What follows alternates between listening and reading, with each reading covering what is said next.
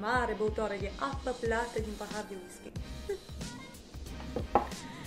Am aflat de curând care ar fi câteva dintre tendințele anului 2019 în materie de make-up și am hotărât să împărtășesc cu voi aceste informații.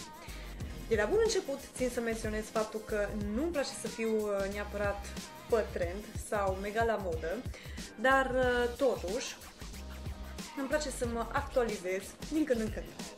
Vă pot spune că 1 se poartă super mult nuanța Living Coral, o combinație între roșu, portocaliu și somon. Uh, dacă sunteți mega curioși, uh, puteți să căutați în continuare pe net. E o nuanță veselă și plină de energie pozitivă, asta mă bucură foarte tare. Am încercat astăzi să fac, uh, să vă exemplific ceea ce vorbesc acum printr-un machiaj. De aceea o să vedeți nuanțele astea de coral, rozuliu, portocaliu, roșiatic.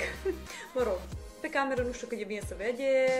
În continuare, dacă vrei să știi cum mi-am realizat machiajul ăsta, poți să te uiți la video. Cât de cât uh, am încercat, cum v-am spus, să exemplific ceea ce am să vă vorbesc acum. Deci, se poartă super mult uh, nuanța asta de living coral. Apoi, uh, buzele uh, conturate vizibil. Dacă până nu de mult purtam extrem uh, adică extrem de mult. Foarte, foarte des nuanțe de nude și buzele cât mai pierdute în machiajul feței. Acum trebuie neapărat să ne conturăm buzele. Neapărat. Care cum dorește. Pentru mine e o bucurie, e o chestie care mi-a plăcut dintotdeauna. De când eram micuță și o vedeam pe mami cum își conturează buzele, mi se părea super tare și foarte, foarte des fac și eu treaba asta oricum. Apoi, uh, genele cât mai încărcate cu mascara. Fiecare va face cum dorește, bineînțeles. Am încercat astăzi să mi le rimelez, uh, să insist cu mascara un pic mai tare ca de obicei, tocmai pentru a vă exemplifica această schemă. Se poartă foarte mult uh, sprâncenele cât mai naturale.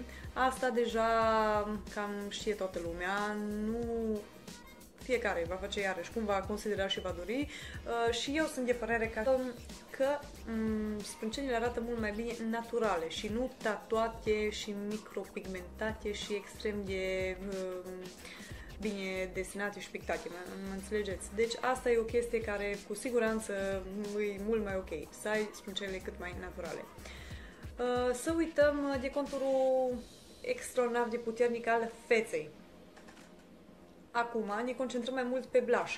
Într-adevăr, nici blushul nu trebuie să fie aplicat în exces, să arătăm ca niște păpuși, dar uh, în continuare, în continuare uh, conturăm tenul, dar un pic mai natural. Deci nu se mai pune atâta accent pe conturarea feței cât se pune pe blush culori, culori, culori întrăznețe și puternice. Dacă vrei să fii în pas cu moda, atunci când îți faci un machiaj al ochilor, de exemplu, optează pentru nuanțe cât mai uh, intens pigmentate și mega, mega, pentru culori uh, foarte puternice. Ar, ăsta ar fi unul dintre trendurile uh, pe care specialiștii ni le recomandă. Culori, culori, chiar dacă machiajul e unul simplu, constituit dintr-un dintr-o singură nuanță de far, de exemplu, dar aia să fie mega puternică. Eu, sincer, încă nu am abordat acest uh, stil, dar uh, sunt foarte curioasă să încerc uh, cât de repede un uh, machiaj uh, mega, mega colorat și întrăzneț. O să postez pe Instagram o poză. Voi începe prin a aplica aceste două nuanțe în pliul pleoapei. Prin mișcări circulare, blenduind foarte, foarte bine marginile.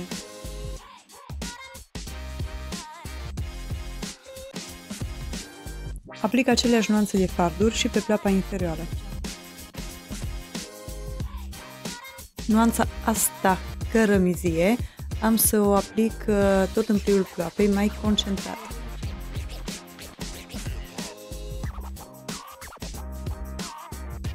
Folosindu-mă de căldura degetului de această dată, o să aplic uh, nuanța asta de somon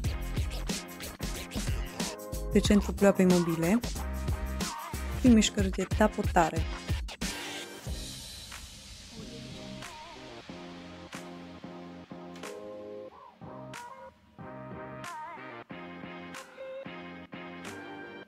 pentru a fi nuanța cât mai intensă.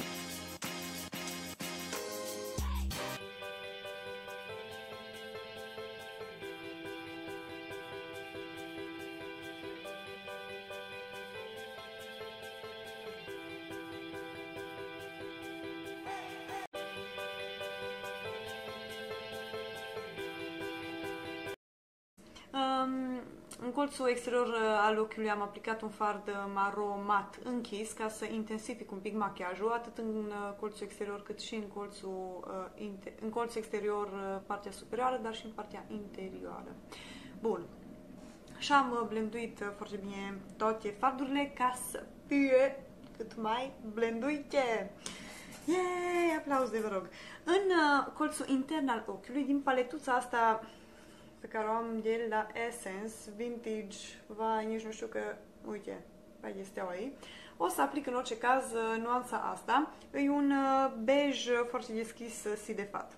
Și nuanța asta, drăguță și simpaticuță, am să o aplic în uh, colțul interior al ochiului pentru luminozitate.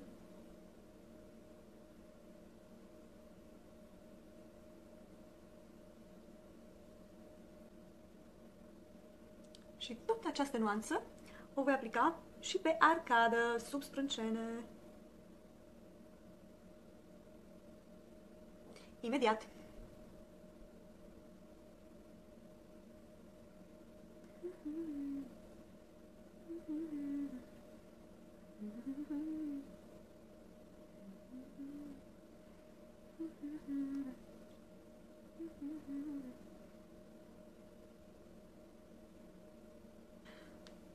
Continuăm acest machiaj prin aplicarea eyelinerului.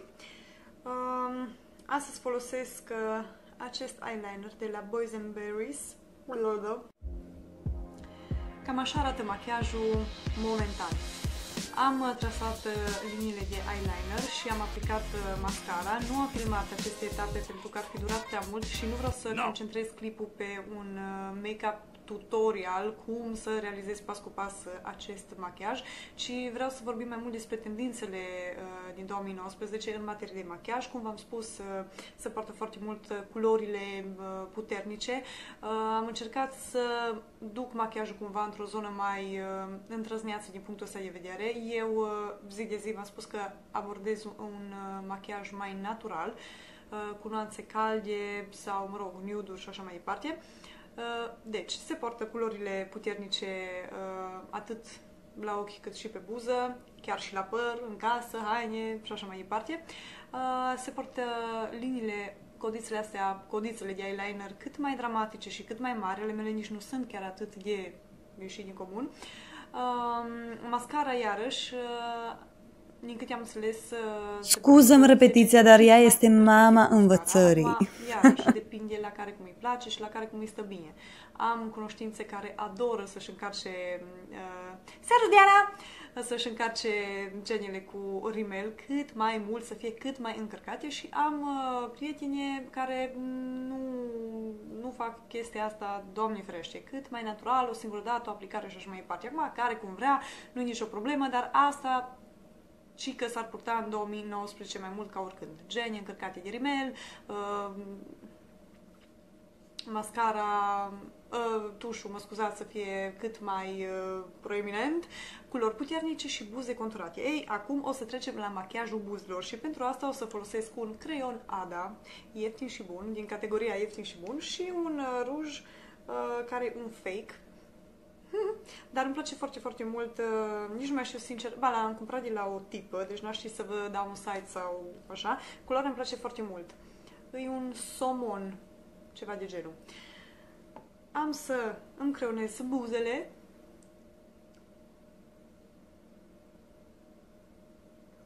După care o să aplic uh, rujul.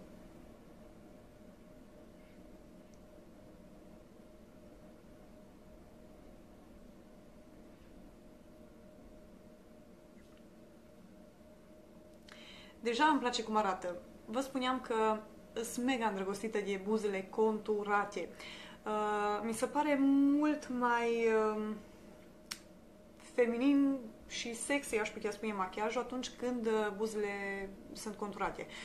Uh, depinde de machiaj, depinde de situație și de multe alte chestii, dar în general uh, optez foarte mult pentru această etapă, creonarea buzelor și creonarea vizibilă a buzelor. Uh, după ce îmi aplic uh, rujul, de foarte multe ori uh, revin cu creionul. în cele mai, în cele mai multe cazuri.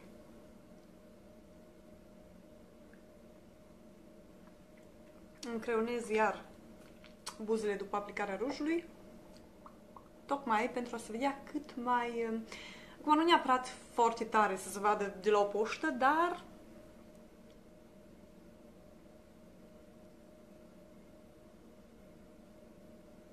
pentru că și creionul, cel puțin astea două produse care le folosesc ca să și creionul, dar și rujul sunt cremoase, automat, dacă m-am dat cu creionul, după cum ați văzut și am aplicat apoi rujul, uh, pe și pe acolo conturul și-a mai pierdut din intensitate, vedeți?